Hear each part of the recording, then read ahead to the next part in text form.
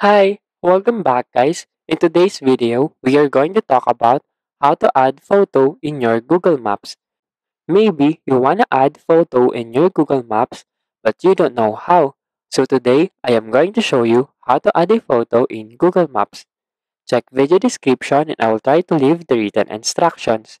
First, open your Google Maps application. Once you open your Google Maps application, you will be directed into this page. As you can see below, we have options. We have here the Explore icon, Go icon, Save icon, Contribute icon, and Updates icon. So to add a photo in Google Map, tap on this plus icon to contribute.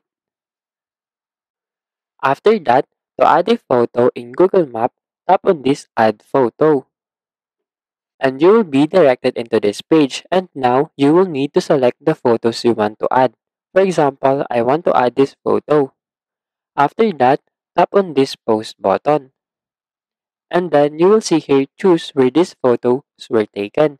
You can see Summit Hotel Naga and many more. For this example, I took these photos at Summit Hotel. So I will choose this Summit Hotel.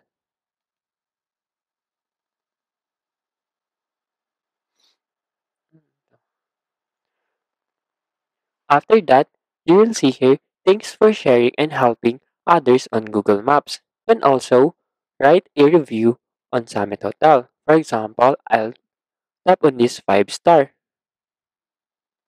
And then, and then you can also rate their rooms, service, and location. I will tap on this 5 star. After that, you can also describe your experience here. For example, I'll type lovely. And also, you can add photos and videos. And you can also answer this one. But that is also optional. After that, tap on this post button. There you go. If you wanted to know how to add photo in your Google Map, that is the easiest way I know how. If you know another way how to add photo in your Google Map, leave a comment below. Also, be sure to subscribe for more videos.